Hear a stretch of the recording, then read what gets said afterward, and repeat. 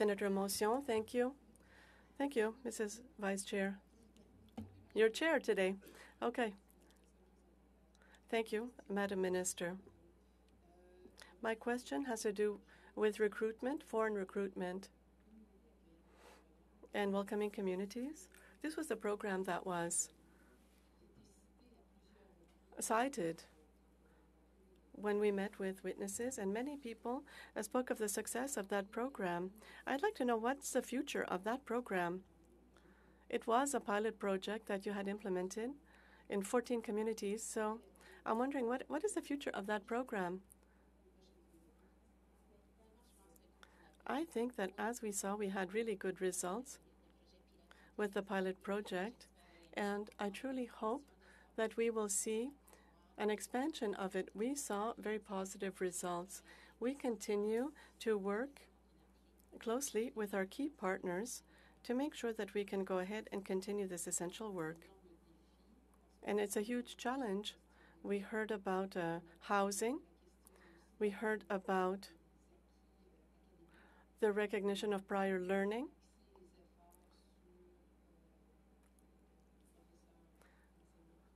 We heard a lot about French language professors, but I'd like to know to what extent that program will be broadened or will it be cut back? Once again, you have raised issues that are important. I know that when we talk about the immigration rates that are high, um, affordable housing or, or housing is um, spoken of when we talk about uh, recognition of prior learning. I oftentimes have a taxi driver driving me to my hotel. They tell me that in their um, home country they were a doctor or a dentist. So the question of um, of um, recognizing these professional titles is important. We're working with provinces and territories. Minister Fraser is trying to develop agreements with provinces and territories that will allow them to figure out how to address the issue.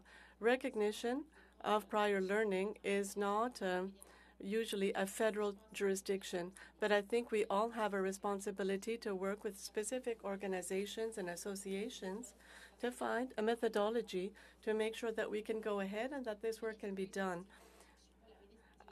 I'm not the Minister for Immigration, but the Minister made an announcement last November over $80,000 to help provinces and territories to implement programs, to develop programs to recognize prior learning. So we continue to work to try to deal with this issue. Many of my colleagues have repeated that if we really want to attract high quality professionals, specialized professionals. They should be. They will be able. We have to make sure uh, that they can work in their field. So this is um, important work that needs to be done by the provinces and territories. Finally, with regards to housing, I think Minister Fraser said that we want to make sure that we will choose immigrants to come to Canada with in different categories. So carpenters and skilled trades, we do have a, labor shortage in these skilled trades. We hope that we can facilitate their immigration to Canada. So these are all important issues, and I always say that I prefer to work um, when we talk about increasing the population than have a population loss. I think if we look at what's going on in, in, in our region with uh, hospital closures and things like that, well, we want the opposite of that. We want to grow our population and be able to deal with these issues. You have just under a minute.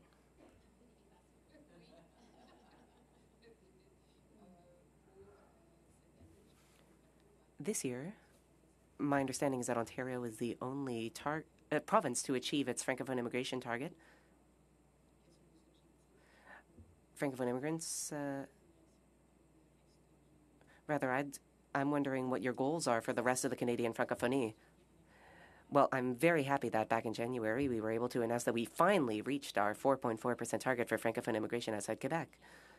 It took 15 years to reach that target, but we got it. Now we need to be even more aggressive, even more ambitious, and increase our targets.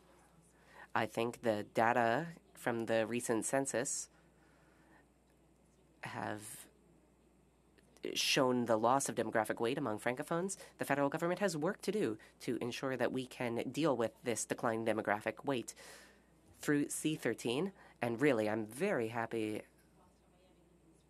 that I could had the opportunity to work with Minister Fraser on this because it's an issue he cares deeply about. He will do anything he can to fix the issue with demographic weight, uh, to set up uh, an ambitious strategy with targets and indicators. Another example from our region. Back in fall in Dieppe, we opened a center for innovation and francophone immigration because we really want to understand what the issues are, what are the challenges for people who come to the region, and how can we attract people. I really hope that we will be able not only to attract people to Canada, but also keep them in uh, in rural areas, because it's not just an issue for big cities. We want to have people stay in regions throughout Canada, including in Quebec. So we want to attract people, but we want to retain them as well. As well. Everyone has a part to play.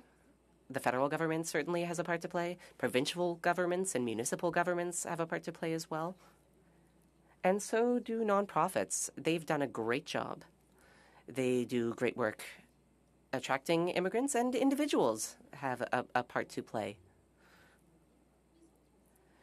It's not just uh, immigrants who have to integrate themselves, we have to integrate immigrants. We need to ensure that they are well paid and that they feel welcome.